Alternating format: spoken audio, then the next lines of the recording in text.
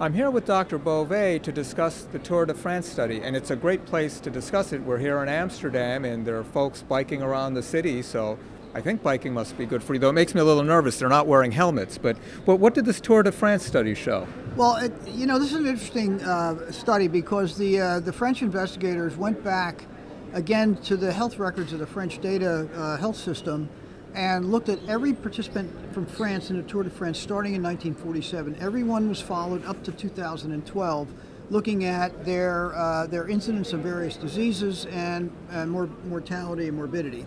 Uh, the conclusion was that number one, there was a significant reduction in cardiovascular mortality and cancer mortality in the Tour de France participants, uh, a little bit higher accident mortality, but again, this is well known in the younger population. Right. And I think their conclusion was that this level of intense exercise, and this is very intense exercise. oh, yeah. They say it's the equivalent of running three marathons a week for three weeks in a row and climbing Mount Everest uh, three times.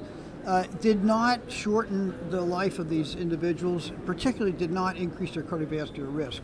Now, in the context of, uh, of our current uh, understanding of, of exercise, with some of the newer and more sensitive measures we have, there's some there's some information that suggests that, that these high levels of exercise may be damaging the heart. Oh yeah, leading I, to troponin. Well, uh, troponins, yeah. uh, some of the MRI findings, right. you know, the right heart data and echocardiography, uh, all these things are being interpreted as detrimental. But when you look at this this sport, which is one of the most intense sports in the world, uh, the, the longevity of these athletes is, is better than the normal population, and um, the cardiovascular risk is lower.